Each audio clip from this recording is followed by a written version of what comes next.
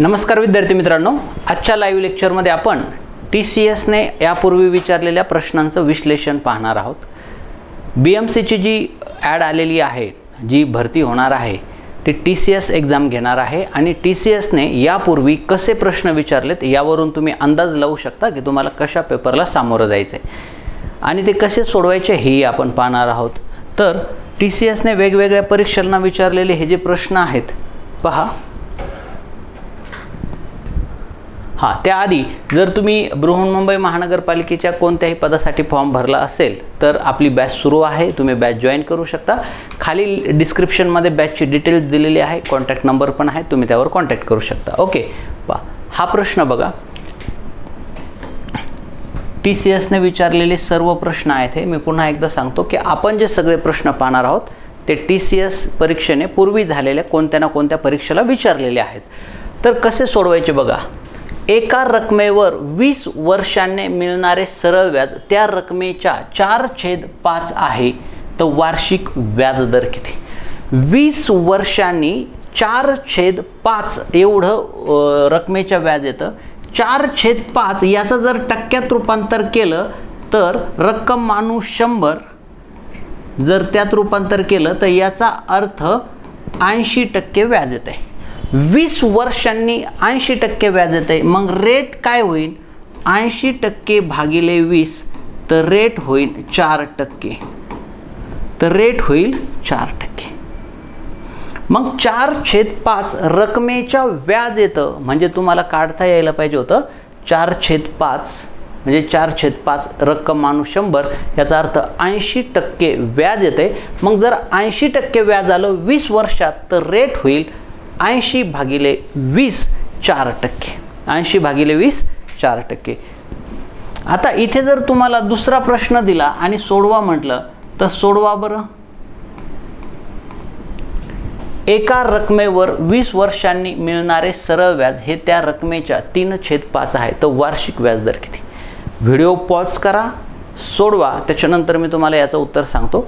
कारण असेच किमती बदलून प्रश्न पुन्हा पुन्हा पेपरला विचारले जातात. बऱ्याचदा तसेच किमती सहित प्रश्न विचारले जातात. पण किमती बदलूनही विचारण्याची शक्यता आहे. तर आपण एक उदाहरण घेऊयात. तीन छेद पाच. सरळ व्याज रकमेच्या तीन छेद पाच. तीन छेद पाच म्हणजे किती होतं आहे तर टक्क्यात रूपांतर केलं. याचा अर्थ व्याज साठ टक्के येत आहे साठ टक्के वीस वर्षांनी साठ टक्के साठ टक्के वीस वर्षांनी तर वर्षाचा रेट येईन तीन टक्के. वर्षाचा रेट येईन तीन टक्के. चला पुढचा प्रश्न मला वाटतं सर्वांना समजला असेल हा प्रकार. शेकडेवरी नफा तोटा कामकाज वेग नळ टाकी सरळ व्याज चक्रवाढ यावर खूपदा प्रश्न विचारले जातात. महत्त्वाचे टॉपिक आहेत. त्यावरच जास्त प्रश्न आहेत. आपण तेही प्रश्न बघणार आहोत. एका दुकानदाराने एक पुस्तक चौदा टक्के तोट्याने विकलं. चौदा टक्के तोट्याने विकलं. म्हणजे चौऱ्याऐंशी टक्क शहाऐंशी टक्क्याला विकलं असं म्हणता येईल का? पुस्तक शंभर टक्के किमतीचं आहे असं मानू. पुस्तक शंभर टक्के किमतीचं आहे चौदा टक्के तोट्याने म्हणजे शहाऐंशी टक्क्याला विकलं. जर शंभर रुपयांनी किंमत विक्री किंमत वाढवली असती तर सहा टक्के नफा झाला असता याचा अर्थ एकशे सहा टक्क्याला विकलं असतं. मग त्यांचं म्हणणं आहे शंभर रुपयांनी विक्री वाढवली. शंभर रुपयांनी विक्री वाढवली की शहाऐंशी टक्क्याची किंमत. एकशे सहा टक्के होते म्हणजे वीस टक्क्यांनी वाढते. याचा अर्थ वीस टक्के रक्कम म्हणजे शंभर. शंभरनी विक्री वाढवली तर रक्कम शहाऐंशी टक्क्यावरून एकशे सहा टक्क्यावर जाते म्हणजे वीस टक्क्यांनी वाढते. याचा अर्थ एक टक्का पाच तर मूळ रक्कम ही शंभर टक्के म्हणजे पाचशे येईल. मूळ रक्कम ही किती होईल? पाचशे होईल. खरेदी किंमत. मग तुम्हाला हे कळलं पाहिजे की आधी चौदा टक्के तोट्याने विकली शंभर रुपये घेतले की सहा टक्के नफा होतो चौदा सहा वीस टक्के. दोन्ही किमतीमध्ये जो फरक आहे तो वीस टक्के शंभर रुपये वाढल्यामुळे वाढतो. आधी चौदा टक्के तोटा होता शंभर रुपये वाढवल्यावर सहा टक्के नफा झाला म्हणजे चौदा सहा वीस टक्के वीस टक्के म्हणजे शंभर. याचा दुसरा एकदम सोप्या भाषेत सांगतो बघा. वस्तू विकती दहा टक्के तोट्याने. याचा अर्थ वस्तू विकते नव्वद टक्क्याला. दहा टक्के तोट्याने वस्तू विकते. जर का तीनशे रुपये जादा घेतले तर पाच टक्के नफा होतो तर याचा अर्थ वस्तू विकन एकशे पाच टक्क्याला. आधी वस्तू दहा टक्के तोट्याने विकत होती. तीनशे रुपये जादा घेतले की पाच टक्के नफा होतोय. म्हणजे तीनशे रुपयामुळे हे दहा पाच पंधरा टक्के वाढतात. पंधरा टक्के म्हणजे तीनशे तर एक टक्का म्हणजे वीस तर खरेदी किंमत शंभर टक्के असते. वीस गुणिले शंभर दोन हजार होईल. मग यातला फरक हा जो आहे पंधरा टक्के तो म्हणजे तीनशे. तीनशे म्हणजे पंधरा टक्के. तीनशेला पंधराने भागलं की एक टक्का मिळेल. तसं इथे सांगितलं होतं की आधी चौदा टक्के तोटा व्हायचा. शंभर रुपये वाढून घेतले तर सहा टक्के नफा व्हायला लागला. म्हणजे चौदा भरून सहा नफा. म्हणजे वीस टक्के ही रक्कम शंभर आहे. शंभर रुपये जादा घेतले म्हणजे वीस टक्के. तर मूळ किंमत ही शंभर टक्के काढायची गुणिले शंभर केलं उत्तर येऊन जाईल. आणि इथेच मी तुम्हाला हे दुसऱ्या पद्धतीने सांगितले ओके? एक प्रश्न तुम्हाला सोडवायला देतो. पॉज करून सोडवा. स्वतः सोडवणं ट्राय करणं गरजेचं आहे.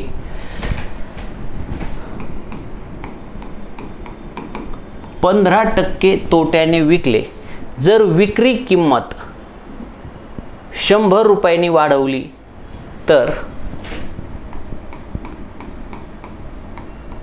दहा टक्के नफा झाला असता पुस्तकाची मूळ किंमत किती? आधी विकले पंधरा टक्के तोट्याने. आता विक्री किंमत वाढवली शंभर रुपयाने. शंभर रुपयाने विक्री किंमत वाढवली. तर दहा टक्के नफा झाला. म्हणजे आधीचे पंधरा भरून निघले आणि दहा. म्हणजे पंचवीस टक्के. शंभर रुपये किंमत वाढली. आधी पंधरा टक्के तोटा म्हणजे पंच्याऐंशी टक्क्याला वस्तू विकत होती. आता पाच टक्के दहा टक्के नफा म्हणजे एकशे दहाला होते. याचा अर्थ किती? पंचवीस टक्के रक्कम वाढली. म्हणजे शंभर रुपये. शंभर रुपये वाढल्याने पंचवीस टक्क्याने किंमत वाढली. एक टक्का येईन चार. खरेदी किंमत असती शंभर म्हणजे चारशे. खरेदी किंमत शंभर. मग खरेदी किंमत होती शंभर. आधी पंधरा टक्के तोटा व्हायचा पंच्याऐंशी टक्क्याला वस्तू विकली जायची. आता दहा टक्के नफा होतोय. कधी? शंभर रुपये जादा घेतले. तर याचा अर्थ शंभर रुपयामुळे पंधरा टक्के तोटा भरून दहा टक्के नफा होतोय. म्हणजे शंभर रुपये ही पंचवीस टक्के रक्कम आहे. मग एक टक्का चार तर मूळ रक्कम शंभर टक्के चारशे होईल. असं आहे सोडवायचं होतं. एक चॅलेंजिंग क्वेश्चन हा टी सी एसने आतापर्यंत विचारलेला आहे. तुम्ही एकदा ट्राय करा पॉज करून.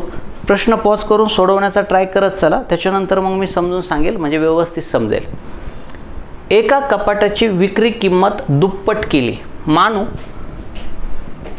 विक्री मानू शंभर. विक्री मानू शंभर. ही केली दुप्पट. दोनशे. तर सुरुवात नफा तिप्पट होतो.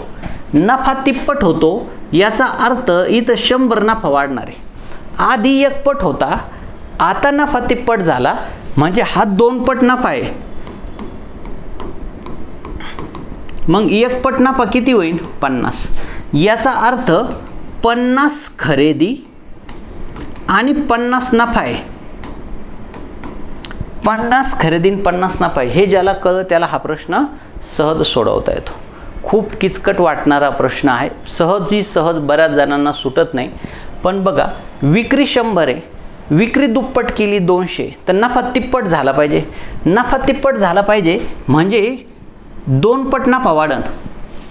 शंभरचा दोनशे केल्यावर शंभर रुपये नफा वाढन. दोन पट म्हणजे शंभर एक पट म्हणजे पन्नास. याचा अर्थ याच्यात पन्नास खरेदी आणि पन्नास नफा आहे.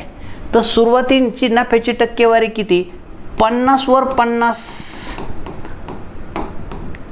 सुरुवातीची टक्केवारी शंभर टक्के.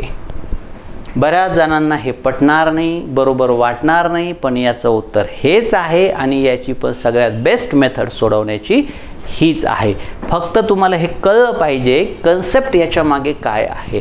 नफ्या तोट्याचा कन्सेप्ट आणि शेकडेवारीचा कन्सेप्ट जर माहीत असेल तरच हे तुम्हाला समजेल. याच्यासाठी तुम्हाला शेकडेवारी व्यवस्थित काढता आली पाहिजे. नफा तोटा व्यवस्थित कळलेलं पाहिजे. मग असे किचकट प्रश्न सोडवता येतात. आणि मेरिट असेच प्रश्न ठरवतात जे थोडेसे अवघड आहेत. पा विक्री शंभर मानू दुप्पट केली दोनशे. याचा अर्थ शंभर रुपये नफा वाढन तर नफा दोन पट वाढन नफा तिप्पट होईल ना?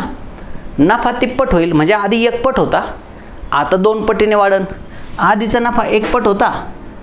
तिप्पट होईल म्हणजे दोन पटीने वाढन दोन पट म्हणजे शंभर. एकपट नफा म्हणजे पन्नास. मग आधी पन्नास रुपये खरेदीन पन्नास रुपये नफा होता. पहा आधी पन्नास रुपये खरेदीन पन्नास रुपये नफा होता. विक्री दोनशेला केली. आता दीडशे नफा व्हायला लागला. नफा झाला का तिप्पट? आधीचा नफा पन्नास रुपये खरेदी पन्नास रुपये नफा मानू शंभर रुपयाला विक्री होत होती. विक्री दुप्पट केली. शंभरची दोनशे. नफा तिप्पट झाला का? दीडशे रुपये नफा झाला का दीडशे रुपये? मग नफा तिप्पट झाला शंभर रुपये वाढल्यामुळं एक पटीचा तिप्पट झाला शंभर रुपये म्हणजे दोन पटे. शंभर रुपये म्हणजे दोन पटे तर एक पट म्हणजे पन्नास. तर पन्नास रुपये नफा पन्नास खरेदी पन्नासवर पन्नास आधी शंभर टक्के नफा व्हायचा. बऱ्याच जणांना हे पन्नास बरोबर वाटतं हे चुकीचं आहे. चला पुढे. एक व्यक्ती एकूण पंधरा रुपये किमतीत पंधरा समान वस्तू खरेदी करतो. पंधरा रुपयात पंधरा वस्तू खरेदी याचा अर्थ एक रुपयाला एक वस्तू खरेदी करतो. त्यापैकी प्रत्येकाची विक्री एक पॉईंट तेवीस किमतीने केली तर नफ्याची टक्केवारी. खरेदी केली एकला आणि विक्री केली एक पॉईंट तेवीसला म्हणजे पॉईंट तेवीस रुपये नफा आहे. पॉईंट तेवीस रुपये म्हणजे तेवीस पैसे नफा. एक रुपयाच्या वस्तूवर एक रुपयाच्या वस्तूवर पॉईंट तेवीस पैसे नफा मग किती नफा? तर गुणिले करा. हे एकचा काही रोल येणार नाही छेदात एक आहे. तर पॉईंट दोन घरं पुढं सर्केल करा पुढं शून्य आहे. तर तेवीस टक्के नफा. किती सिंपल क्वेश्चन विचारला होता पा सी एसने फक्त माहीत पाहिजे की एकची वस्तू एक पॉईंट तेवीस रुपयांना विकली म्हणजे एक रुपयावर तेवीस पैसे नफा झाला. एक रुपयावर तेवीस पैसे नफा म्हणजे किती? तर तेवीस टक्के नफा हे तुमचं उत्तर आहे. चला पुढचा. जेव्हा त्रेपन्न किलोग्रॅम वजनाच्या कर्मचाऱ्यांपैकी एकाची जागा नवीन माणसाने घेतली तेव्हा बोटीतील दहा वल्लेकरांचे सरासरी वजन एक पॉईंट आठ किलोग्रॅमने वाढते. नवीन माणसाचे वजन शोधा. पहा. बोटेतला त्रेपन्न किलोचा एक जण उतरला आणि त्याच्या जागी दुसरा त्रेपन्न किलोचाच बसला तर सरासरी वजनात किंवा एकूण वजनात काही फरक पडेल का? जर बोटेमधील एक जण त्रेपन्न किलो वजनाचा माणूस उतरला बोटेतील त्रेपन्न किलोचा एक जण उतरला आणि दुसरा त्रेपन्न किलोचाच बसला तर सरासरीत किंवा टोटलमध्ये फरक पडणार नाही. पण एक जण नवीन माणूस आला एक जणाच्या जागी त्याने दहा वल्हेकऱ्यांचं वजन एक पॉईंट आठ किलोने वाढवलं. दहा जणांचं एक पॉईंट आठ किलोने वाढवलं याचा अर्थ अठरा किलोने त्याने वजन वाढवलं. मग जो त्रेपन्न किलोचा गेला त्याच्यापेक्षा हा अठरा किलो वजन जास्त असणार आला आठ अन तीन अकरा. त्याच्यापेक्षा हा अठरा किलो वजन जास्त असणार आला कारण त्याने दहा जणांचं वजन एक पॉईंट आठ किलोने सरासरी वाढवलं आहे मग दहा जणांचं सरासरी एक पॉईंट आठ किलो म्हणजे टोटल अठरा किलो. टोटल अठरा किलो. त्याने अठरा किलोने वाढवलं म्हणजे तो त्रेपन्न किलोचा जो गेला त्याच्या एवढं याचं त्रेपन्न वजन तर होतंच प्लस त्रेपन्न अधिक अठरा एवढं वजन होतं. त्रेपन्न अधिक अठरा म्हणजे एकाहत्तर जसं इथे मी दुसरा एक प्रश्न सेम क्वेश्चन बघा. त्रेपन्न किलोचा एक जण गेला आणि दुसऱ्याने आल्याने दहा जणांचं सरासरी वजन दोन दोन किलोने वाढवलं. तर याचा अर्थ जो त्रेपन्नचा गेला त्याचं वजन तर भरून काढलं प्लस नवीन आलेल्याने दहा जणांचं सरासरी दोन दोन किलोने वाढवलं. म्हणजे दहा जणांना दोन दोन दोन दहा दुने वीस. वीस किलो हे त्याचं वजन आहे.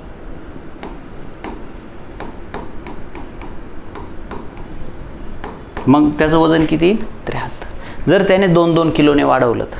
दहा जणांचं दोन दोन किलोने वाढवलं म्हणजे दहा दुने वीस तो जुन्या माणसापेक्षा नवीन घेऊन आला आहे लक्षात हा प्रश्न पण महत्त्वाचा आहे. बऱ्याचदा पेपरला वेगवेगळ्या विचारलेला आहे. चला पुढे.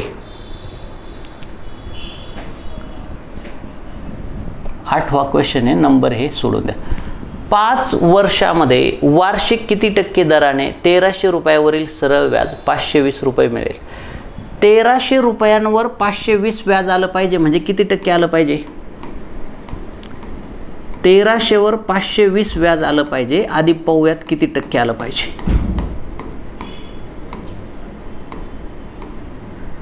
चाळीस टक्के. तेराशे रुपये रकमेवर पाचशे वीस रुपये व्याज आलं पाहिजे. म्हणजे आपण काढलं किती टक्के? तर चाळीस टक्के व्याज आलं पाहिजे. पाच वर्षामध्ये चाळीस टक्के येण्यासाठी रेट काय ठेवावं लागेल? चाळीस टक्के पाच वर्षात येण्यासाठी पाचा अठ्ठेचाळीस. आठ टक्के रेट ठेवावं लागेल. पाच वर्षामध्ये चाळीस टक्के चाळीस टक्के पाच वर्षामध्ये तर रेट ठेवावा लागेल आठ टक्के. किती टक्के ठेवावं लागेल? आठ टक्के. सिंपल आहे तेराशेवर पाचशे वीस येतं म्हणजे चाळीस टक्के व्याज येतं. ते आलं पाहिजे पाच वर्षात. पाच वर्षात येण्यासाठी दरवर्षी आठ टक्के व्याज दर पाहिजे हे याचं उत्तर आहे.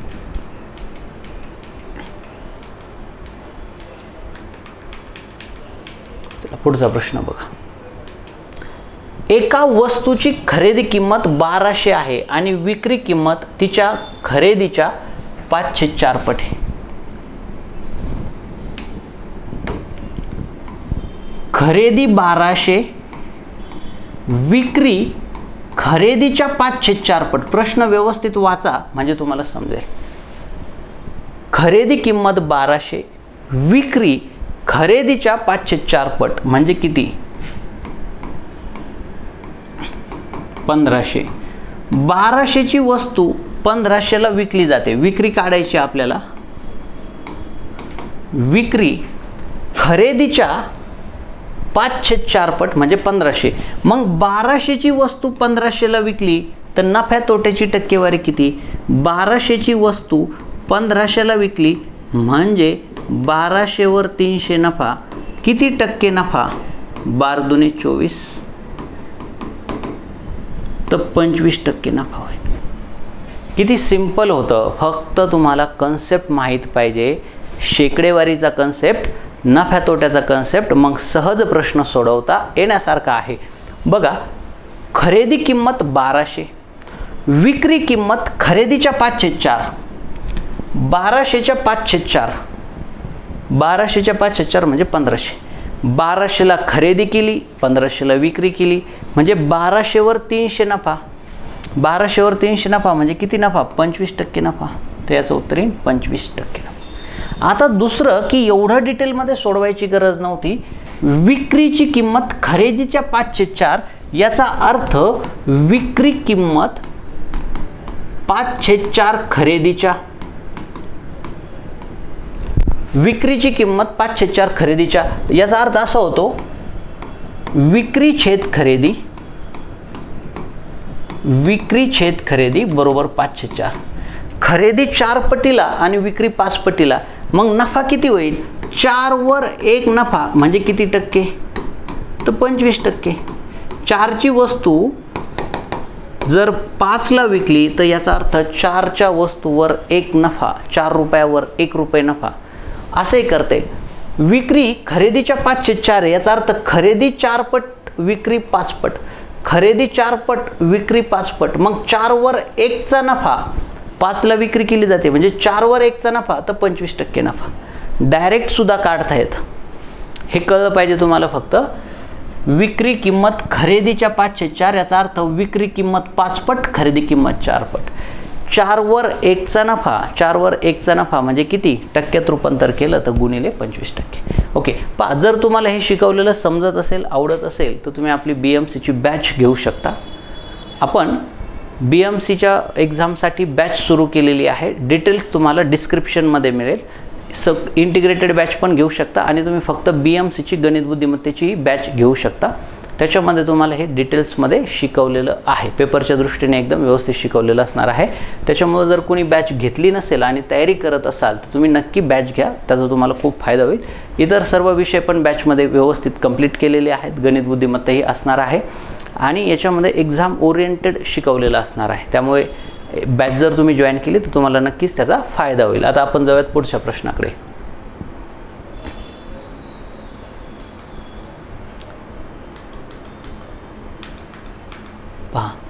काही माणसे बारा दिवसात एक काम करू शकतात. काही माणसे बारा दिवसात काही माणसे बारा दिवसात एक काम करू शकतात. अशा माणसांच्या दुप्पट संख्येस आता माणसं बारा दिवसात करतात. अशा माणसांच्या दुप्पट संख्येस माणसं दुप्पट केले त्या कामाचा निम्म काम करण्यास किती दिवस लागतील? एकदम कॉमन सेन्सचा प्रश्न आहे. मी तुम्हाला याच्यात काही गणित जास्त डिटेल लॉजिक सांगत नाही. कॉमन सेन्स वापरून कसं सोडवायचं? काही माणसं बारा दिवसात काम करू शकतात. अशा माणसांच्या दुप्पट संख्येस. माणसं केले दुप्पट. आता दिवस लागतील निम्मे सहा दिवसात काम होईल जर माणसं दुप्पट केले तर दिवस निम्मे लागतील सहा दिवसात काम होईल. त्या कामाचा निम्मच भाग करायचा आहे सहा दिवस नाही लागणार. तीनच दिवस लागतील. कामं निम्म करायचं आहे तीन दिवस. माणसं दुप्पट केले म्हणून दिवस निम्मे होतील सुरुवातीला. माणसं दुप्पट केले म्हणून दिवस निम्मे बाराचे सहा दिवस लागतील. कामं निम्म केलंय निम्मच भाग करायचा आहे मग आता सहा दिवस नाही लागणार सहाच्या निम्मे दिवस लागतील. समजते जसं की तुमच्या घरी एखादं काम सुरू आहे काम होणारे वीस दिवसात. काम होणारे वीस दिवसात. माणसं डबल केले तर? वीस दिवसाच्या निम्मेच दहा दिवस लागतील. माणसं निम्मे केले कामावरचे तर दिवस डबल लागतील. काम वीस दिवसात होणारे त्या कामाच्या निम्मच काम केलं तर दिवस पण निम्मे लागतील. त्या कामाच्या डबल काम केलं तर दिवस पण डबल लागतील. मग तेच सांगितलं होतं बारा दिवसात काम होतं आहे बारा दिवसात काम होतं आहे माणसांची संख्या दुप्पट केली तर बारा दिवसाचं काम सहा दिवसात होईल. पुढे जाऊन सांगितलं आहे की कामाचा निम्माच भाग करायचा आहे मग सहा दिवस लागणार नाही त्याच्या निम्माच भाग करायचा आहे म्हणजे तीन दिवस. तर लॉजिक थोडंसं वापरलं कॉमन सेन्सचा प्रश्न थोडासा विचार केला तर हा सुटण्यासारखा प्रश्न आहे. इथं व्यस्त प्रमाण असतं पण आपल्याला प्रमाणात पडायचं नाही. माणसं बारा दिवसात करत होते डबल केले तर निम्मे दिवस लागतील सहा. कामं निम्म केलं सहाच्या निम्म तीनच दिवस लागतील. आलं लक्षात? चला पुढे.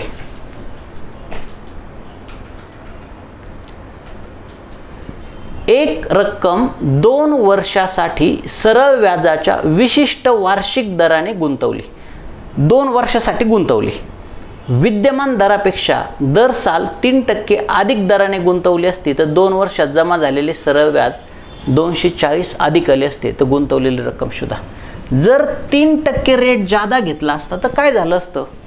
आधीच्यापेक्षा तीन टक्के रेट जर जादा घेतला असता आधीच्यापेक्षा तीन टक्के रेट जादा घेतला असता तर दोन वर्षात तीन दुने सहा टक्के व्याज जादा आलं असतं. दोन वर्षात तीन आणि तीन सहा टक्के व्याज जादा आलं असतं. आणि ते म्हणतायत दोनशे चाळीस अधिक जास्त आलं असतं. मग दोनशे चाळीस म्हणजे सहा टक्के. एक टक्का म्हणजे चाळीस. तर गुंतवलेली रक्कम चार हजार होईल शंभर टक्के रक्कम गुंतवलेली असणार ना जनरली शंभर टक्के रक्कम गुंतवली. तीन टक्क्यांनी दोन वर्षात तीन दुने सहा तीन टक्के जर जादा घेतलं असतं तर दोन वर्षात तीन दुने सहा टक्के जादा आलं असतं. तीन टक्के घेतलं असतं जादा तर सहा टक्के जादा आलं असतं. आणि सहा टक्के जास्त आलं असतं म्हणजे दोनशे चाळीस. दोनशे चाळीस म्हणजे सहा टक्के. एक टक्का चाळीस तर पूर्ण रक्कम ही शंभर टक्के असते म्हणजे चार हजार रुपये. चला पुढचा प्रश्न बघा. जर एकाच प्रकारच्या सर्व दहा वस्तूंची खरेदी किंमत आठ वस्तूंच्या विक्री किंमती एवढी असेल तर तोटा किंवा नफ्याची टक्केवारी काढा. दहा वस्तूंची खरेदी आठ वस्तूंच्या विक्री किंमती एवढी. समजा एक दुकानदार आहे.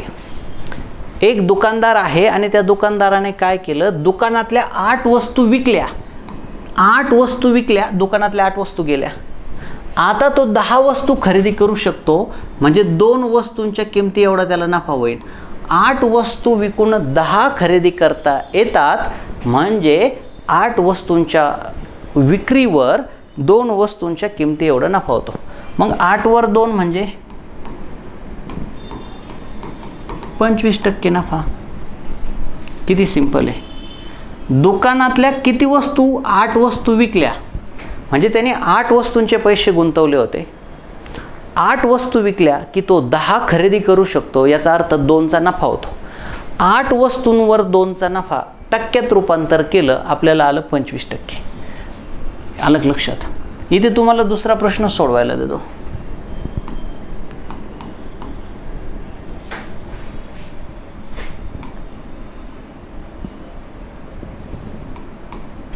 दहा वस्तूंची विक्री करतो आणि पंधरा वस्तू खरेदी करतो.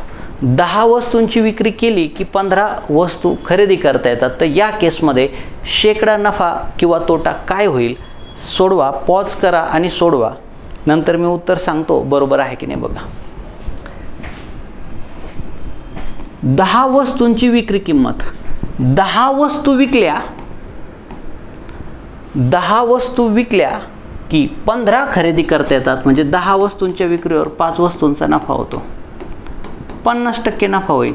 दहा विकून पंधरा खरेदी करता येतात. दहा वस्तू विकल्यानंतर पंधरा खरेदी करता येतात. याचा अर्थ दहा वस्तूंमागे पाच वस्तूंच्या किमती एवढा नफा होतो. म्हणजे दहावर पाचचा नफा तर पन्नास टक्के नफा हे. इथे वीस वस्तूंची विक्री करून पाच वस्तूंची खरेदी करता येत असती तर दुसरा प्रकार असा बनतो. एक प्रकारच्या पंधरा वस्तूंची खरेदी किंमत वीस वस्तूंच्या विक्री किंमत एवढी आहे. दुकानातल्या वीस वस्तू विकल्या दुकानातल्या वीस वस्तू विकल्या दुकानात वीस वस्तूंचे पैसे गुंतवले वीस वस्तू विकल्या की तो पंधराच खरेदी करू शकतो याचा अर्थ पाच वस्तूंच्या खरेदी इतका तोटा होतो. मग या केसमध्ये पंचवीस टक्के तोटा होईल. का? कारण वीस वस्तू विकून पंधराच खरेदी करता येतात. वीस वस्तू विकून पंधराच खरेदी करता येतात. म्हणजे वीस वस्तूंच्या ख विक्रीमागं वीस वस्तूंना त्यांनी पैसे गुंतवले की आता तो पंधराच खरेदी करता येतो वीस विकल्यानंतर याचा अर्थ पाच वस्तूंचा तोटा होतो. वीसवर पाचचा तोटा हे कळणं गरजेचं आहे. खाली वीसच घ्यायचे खाली पंधरावरती पाच घेतलं तर चुकेल.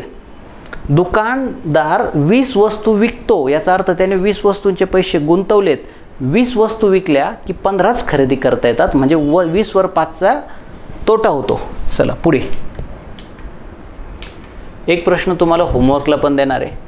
सरळ व्याजाच्या वार्षिक पाच टक्के दराने एक रक्कम दुप्पट होण्यासाठी लागणारा कालावधी किती? एक रक्कम दुप्पट व्हायची म्हणजे शंभर रक्कम दोनशे होणार. शंभर रक्कम दोनशे होणार म्हणजे शंभर टक्के व्याज येणार. रक्कम दुप्पट होणार म्हणजे शंभरची दोनशे होणार. एक रक्कम दुप्पट होणार म्हणजे शंभरची दोनशे होणार. शंभर टक्के व्याज येणार. पाच टक्क्यांनी किती वर्ष लागतील?